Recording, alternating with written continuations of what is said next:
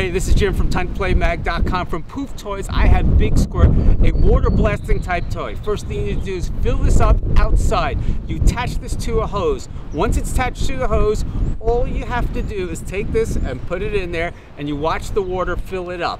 Once it is full, you have to lock this clip in place. Now this is for kids ages five and older, but a five-year-old's not gonna be able to fill this up. They're gonna need the help of a parent or an older brother or sister. Now once you have it full, it actually squirts quite far, up to 30 feet. What you do is you let go of the clip and you watch the water shoot out. And then you go, and there it goes. And you can see it shoots quite far. When you wanna stop it, you lock it in and then you can just put it down and it really doesn't leak a whole lot. This is for this is for ages six and up from Poof Toys. Now if you're looking for other great water toys, come visit us at timetoplaymag.com for the best reviews.